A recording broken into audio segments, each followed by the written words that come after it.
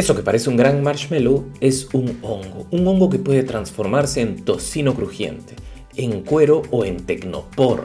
Y la clave está en el mycelium, la estructura de la raíz del hongo. El mycelium acaba siendo una buena alternativa al uso de plástico y el tratamiento animal. El producto estrella de esta empresa es el Mycocomposite, que básicamente simula el tecnopor, pero su punto a favor es que es biodegradable, mientras que el tecnopor puede durar hasta 500 años. Se empieza con astillas de madera, hojas de maíz y cáñamo.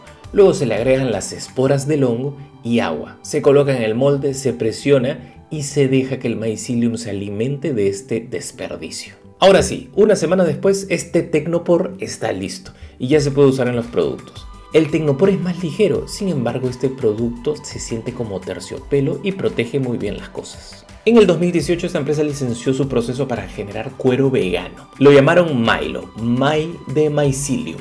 En el 2020 lanzaron My Bacon, que es básicamente el mycelium cortado, aplastado y sazonado, listo para freír. Tres cosas, tiene la misma cantidad de proteína que el tocino pero con un quinto de su grasa. Pueden llegar a alcanzar un dólar por libra a diferencia de los 5 dólares por libra de cerdo. Además necesita casi un galón de agua, a diferencia de los casi 600 que se utiliza con el cerdo. Wow, interesante. ¿Alguno de ustedes comería estos productos que vienen de los hongos? Los leo.